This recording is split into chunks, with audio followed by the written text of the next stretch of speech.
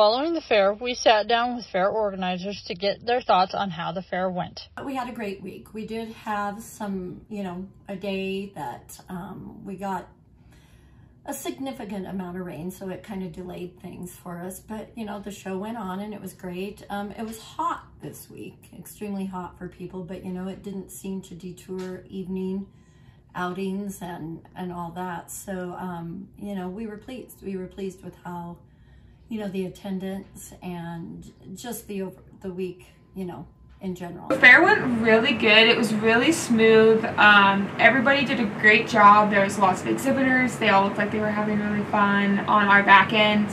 Everything went really smoothly, nothing super chaotic that happened and I think everyone really had a really good fair minus the few days of a hundred, over 100 degrees but other than that um, it was really good. Thank you to all of our sponsors, our volunteers, the kids and parents and everyone who worked really hard to make the fair run as successful as we can, the barn superintendents, the parents helping the kids get to this point, the kids working hard and getting this far with their animals and the quality and the level that they brought, and anyone else who helped in some way, shape, or form for the county fair um, thank you for all of your support and the community to your the support for the kids in this um, for the kids in this community. Thank you to our patrons, um, to our sponsors, our volunteers. I mean, uh, there's just so many people that make it work.